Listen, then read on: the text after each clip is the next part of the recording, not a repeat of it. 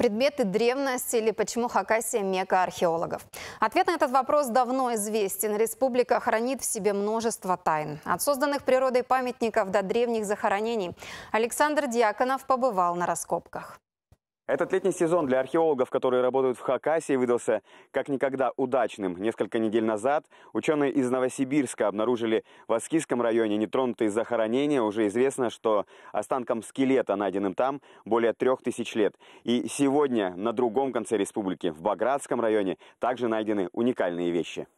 В первую очередь это сруб, который, согласно обряду, был подожжен и заложен камнями. В нем захоронены тела, предположительно, двух женщин, одного ребенка и кости еще одного человека. Но после проведения кремации такой пепел помещали в куклу-манекен человеческого роста и укладывали ее рядом с другими покойными. Эта женщина, которая лежит вниз лицом, она была впущена позже. То есть после того, как уже вот это все сгорело, было заброшено землей, туда вкопались и положили еще одного человека.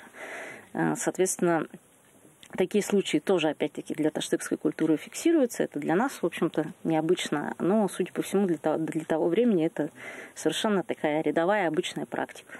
Ученым из Томского государственного университета и Санкт-Петербургского Эрмитажа Аглахтинский могильник знаком давно. Этому захоронению около 1700 лет. И раскопки здесь проводятся не первый год. Но каждый раз археологи натыкаются на все более редкие находки, а именно на сохранившиеся органические материалы.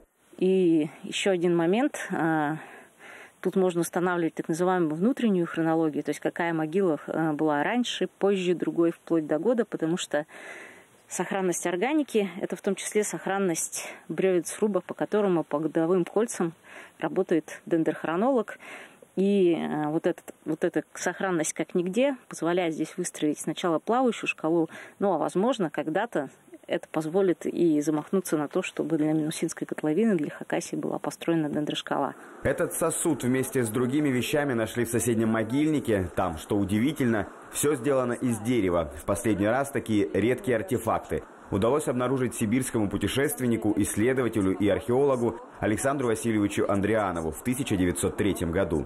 И что здесь еще интересно, это то, что здесь древняя починка. Видите, это не мы сделали. Здесь получилось у них, видимо, сквозное отверстие или трещинка.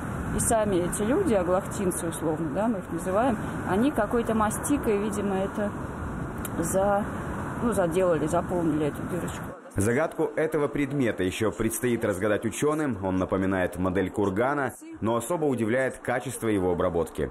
Скорее всего, это какой-то все-таки был предмет функциональный. С другой стороны, в этой в памятниках такого рода найдено очень много погребальных моделей. То есть у них такое явление погребального символизма было очень развито. В них никогда не клали настоящее оружие. Например, деревянные модели кинжалов в ножнах, деревянные модели удил царьев, то есть конской узды. Может быть, этот предмет или вот эта коробка, которая к нему в принципе подходит, может быть, это была тоже какая-то погребальная модель.